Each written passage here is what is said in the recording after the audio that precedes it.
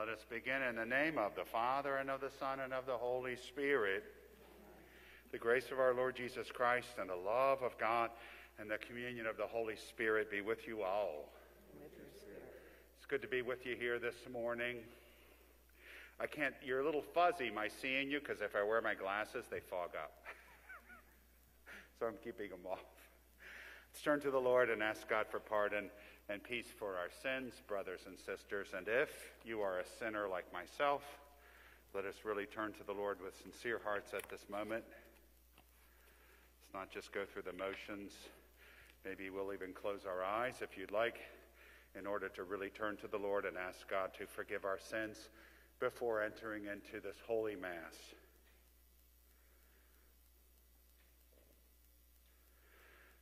Lord Jesus, you have shown us the way to the Father. Lord, have mercy. Lord, have mercy. Lord Jesus, you have given us the consolation of the truth. Christ, have mercy. Christ, have mercy. And Lord Jesus, you are the good shepherd, leading us into everlasting life. Lord, have mercy. Lord, have mercy. And may Almighty God have mercy on us, forgive us our sins, and to bring us into everlasting life. And let us pray. O God, from whom all good things come, grant that we who call on you in our need may at your prompting discern what is right, and by your guidance do it. Through our Lord Jesus Christ, your Son, who lives and reigns with you in the unity of the Holy Spirit, one God, forever and ever. Amen. Amen.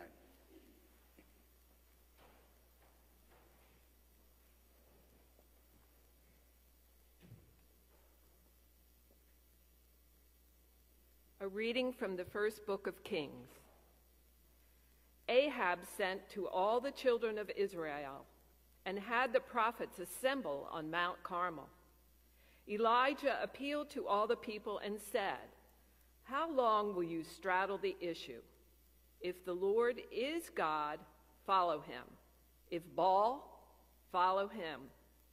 The people, however, did not answer him, so Elijah said to the people, I am the only surviving prophet of the Lord, and there are 450 prophets of Baal. Give us two young bulls. Let them choose one, cut it in pieces, and place it on the wood, but start no fire. I shall prepare the other and place it on the wood, but shall start no fire. You shall call on your gods, and I will call on the Lord. The God who answers with fire is God. All the people answered, agreed. Elijah then stood, said to the prophets of Baal, Choose one young bull and prepare it first, for there are more of you. Call upon your gods, but do not start the fire. Taking the young bull that was turned over to them, they prepared it and called on Baal from morning to noon, saying, Answer us. But there was no sound and no one answering. They hopped all around the altar that they had prepared. When it was noon, Elijah taunted them Call louder, for he is a god and may be meditating, or may have retired, or may be on a journey. Perhaps he is asleep and must be awakened. They called out louder and slashed themselves with swords and spears, as was their custom, until blood gushed over them. Noon passed, and they remained in a prophetic state until the time for offering sacrifice. But there was not a sound. No one answered, and no one was listening. Then Elijah said to all the people, Come here to me. When the people had done so, he repaired the altar of the Lord, of the Lord that they had destroyed. He took 12 stones for the number of tribes of the sons of Jacob to whom the Lord had said, Your name shall be Israel. He built an altar in honor of the Lord with the stones and made a trench around the altar, large enough for two measures of grain. When he had arranged the wood, He cut up the young bull and laid it on the wood. Fill four jars with water, he said, and pour it over the burnt offering over the wood. Do it again, he said, and they did it again. Do it a third time, he said, and they did it a third time. The water flowed around the altar, and the trench was filled with water. At the time for offering sacrifice, the prophet Elijah came forward and said, Lord God of Abraham, Isaac, and Israel, let it be known that this day that you are God in Israel, and that I am your servant, and have done all these things by your command. Answer me, Lord. Answer me, that this people may know that you, Lord, are God, and that you have brought them back to their senses. The Lord's fire came down and consumed the burnt offering, wood, stones, and dust, and it lapped up the water in the trench. Seeing this, all the people fell prostrate and said, The Lord is God. The Lord is God. The word of the Lord. Keep me safe, O God you are my hope. Keep me safe, O God. You are my hope.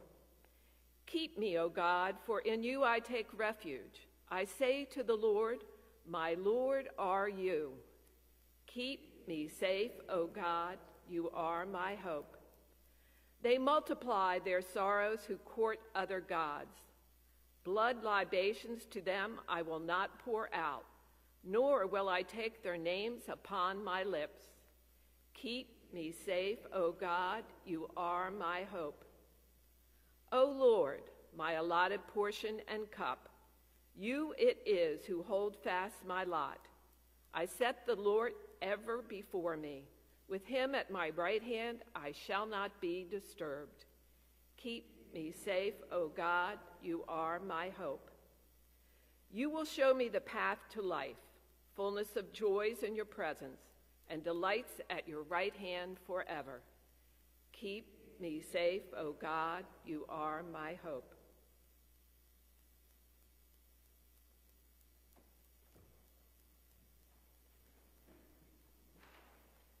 And my brothers and sisters, the Lord be with you. And with your spirit. A reading from the Holy Gospel according to Matthew.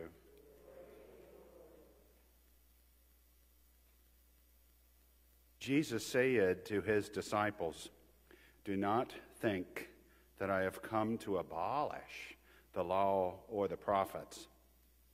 I have come not to abolish, but to fulfill.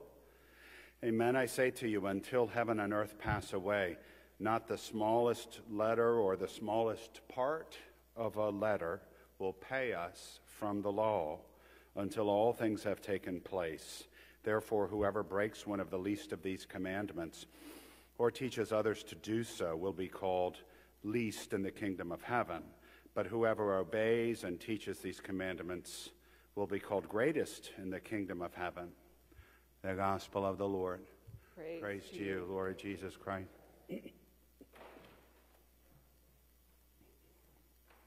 Jesus today talks about how he has not come to abolish any of the law. And at the same time, we see that Jesus sometimes had a different way of applying the law than some of the scribes and Pharisees. He had more compassion. So, whether it was, remember, they were criticized for picking grain on a Sabbath. And he just, you could see uh, God just thought that that was foolishness that they were getting involved in that. It was really, it's more about just trying to detract from somebody else than really being concerned about the law they were just trying to find a reason to pick at them as they were picking grain. Or the woman caught in adultery, and you could see God, Jesus, was upset that outright sinners were so judgmental of someone else. And when he's drawing in the sand, you know, you, everybody has wondered for 2,000 years what he was drawing. But the way they backed off and walked away, you can imagine he was letting them know he knew they were sinners too. So certainly we're people of the law, but also people of compassion. And I think that's an important thing to, to, thing to remember when we're challenging someone else about the law. And also that we need to be, it says not just that we uh, preach about the law, but we obey it. And in, in an era, not to get too serious, but in an era of Mr. McCarrick of Washington, now Mr. McCarrick, in an era where politicians and priests and pastors can really stumble. And I think it's more important than ever. Sometimes I, I uh, think to myself, I, my most important job is to live out my faith and make sure that parishioners see it. That's more important than whatever I say, because nowadays I think you really got to earn your respect if you're, you know, I really, I would rather be sitting in the back pew, believe me. I felt I had a call to the priesthood. I didn't want to be up here. but if you're going to be a leader, you have to earn it because everybody is tired of words. Even, uh, you know, whatever the issue, there's, there's an inflammatory issue twice a week nowadays. Everybody posting on the internet, everybody going crazy about it. How are you living your life? It becomes, you know, maybe all that, all those words become a cover for not really changing our own lives. I'm so opinionated, but it doesn't keep me from spending all that money on my vacation. I don't mean to sound judgmental, but it's true, you know. I can post 5,000 things on the internet what am I changing in my life in order to make the world a better place?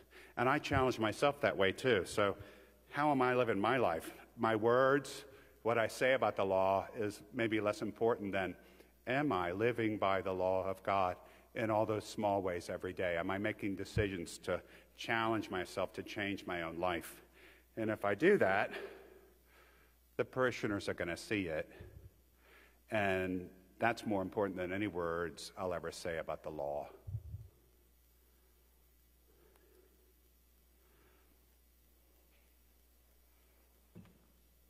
Let's stand and offer our prayers. Our response will be Lord, hear our prayer.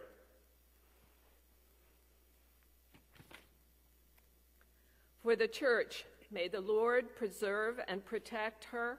Let us pray to the Lord. Lord, hear our prayer.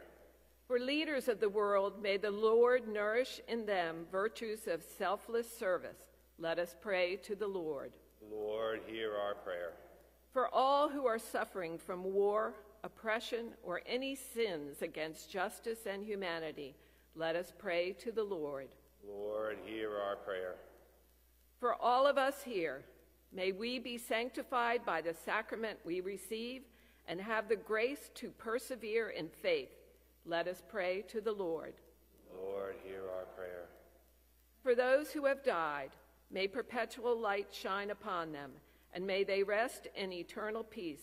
Let us pray to the Lord. Lord, hear our prayer. And now, in the silence of our hearts, for our own intentions.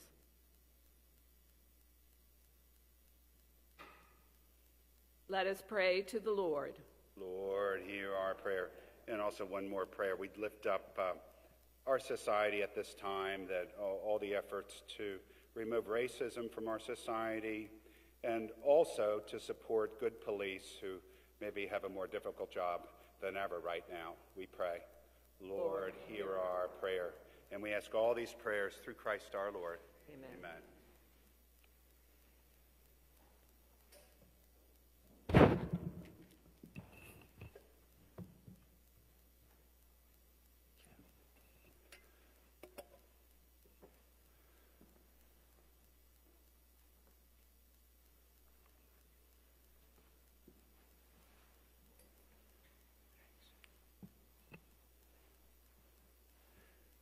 Blessed are you, Lord God of all creation, for through your goodness we have received the bread we offer you, fruit of the earth and work of human hands.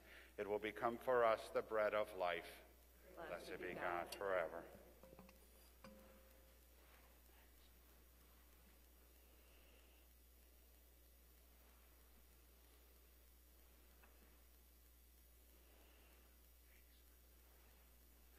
And blessed are you, Lord God of all creation for through your goodness we have received the wine we offer you, fruit of the vine and work of human hands. It will become our spiritual drink.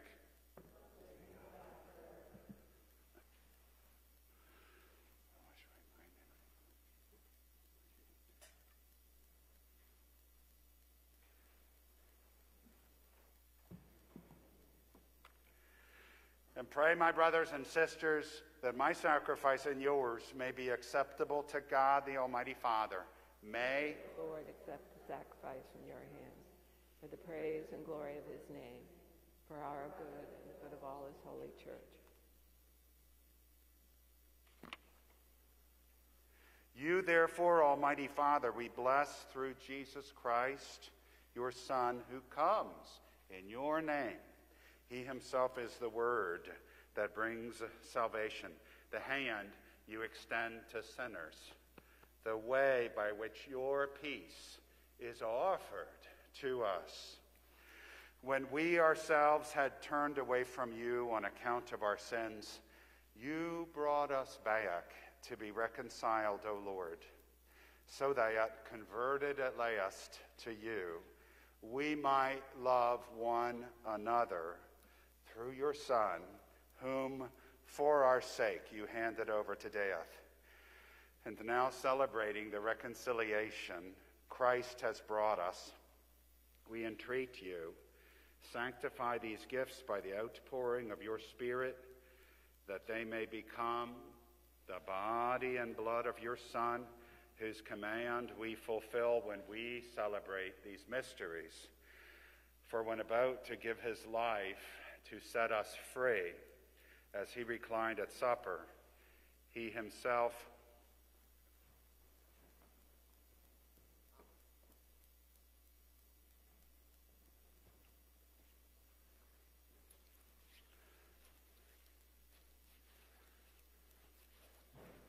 He himself took bread into his hands and giving you thanks, he said the blessing, broke the bread, and gave it to his disciples, saying, Take this, all of you, and eat of it, for this is my body.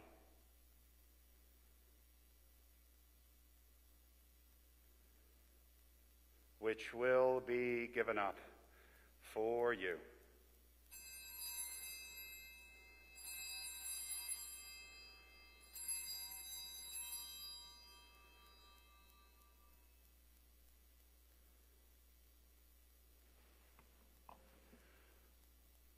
In a similar way, on that same evening, he took the chalice of blessing in his hands, confessing your mercy, and gave the chalice to his disciples,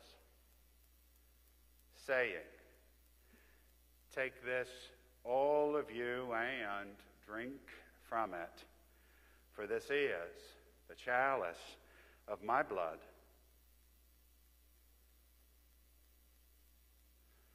the blood of the new and eternal covenant, which will be poured out for you and for many for the forgiveness of sins. Do this in memory of me.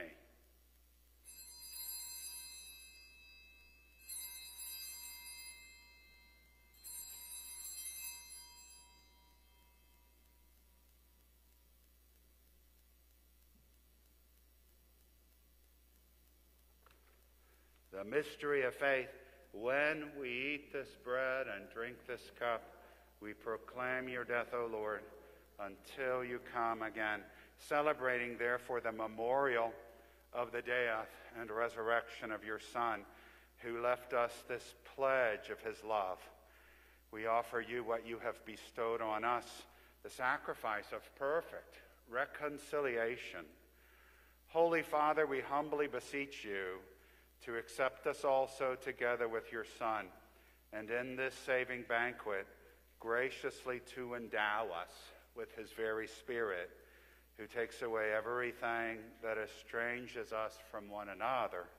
May he make your church a sign of unity and an instrument of your peace among all people, and may he keep us in communion with Francis, our Pope, and William, our Bishop, and all the bishops and your entire people, just as you have gathered us now at the table of your Son, so also bring us together with the glorious Virgin Mary, Mother of God, with blessed Joseph, her spouse, with your blessed apostles and all the saints, and with our brothers and sisters and those of every race and tongue who have died in your friendship. Bring us to share with them the unending banquet of unity in a new heaven and a new earth where the fullness of your peace will shine forth in Christ Jesus our Lord.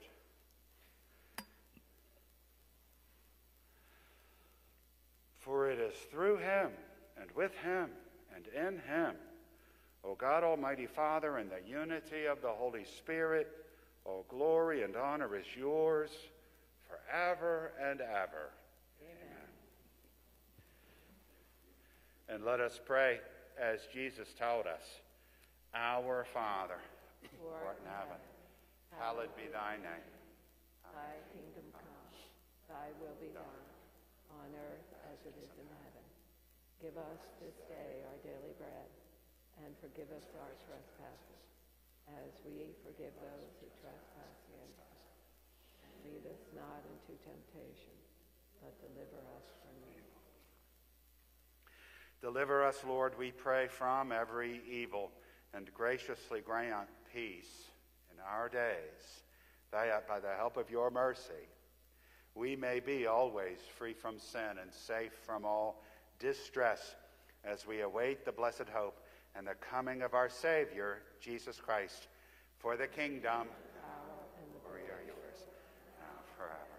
And Lord Jesus Christ, who said to your apostles, I leave you peace, my peace I give you. Look not on our sins, but on the faith of your church, and graciously grant her peace and unity in accordance with your will, who live and reign forever and ever. And the peace of the Lord be with you always. With your spirit. Let's offer each other a sign of peace Sister Mary.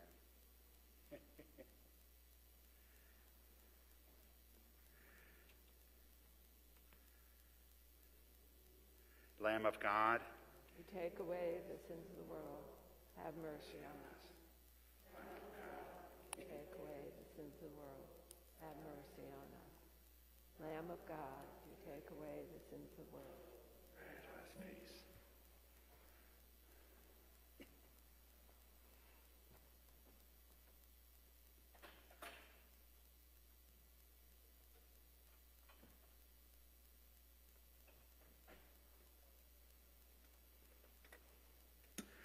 And my brothers and sisters,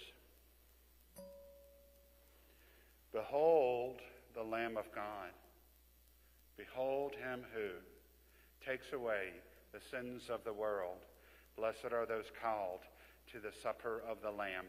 Lord, I am not worthy that you should enter under my roof, but only say the word, and my soul shall be healed. We're going to have a uh, spiritual communion for those watching online. Lord Jesus, I believe you are fully present in the most blessed sacrament of the Holy Mass. While I cannot receive you physically at this time, I now ask you to enter into my heart for a spiritual communion.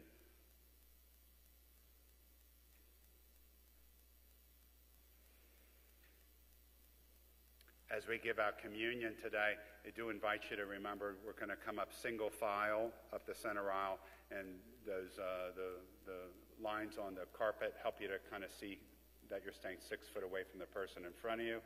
When you receive, if you're receiving on the hand, uh, please keep your mask on, and then just walk about six foot away uh, on either side, and take your mask off to communicate yourself.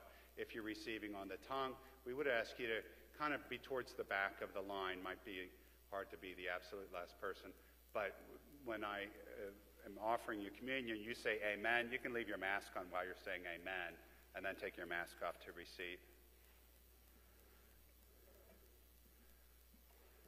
It's good to be with you to give out communion today.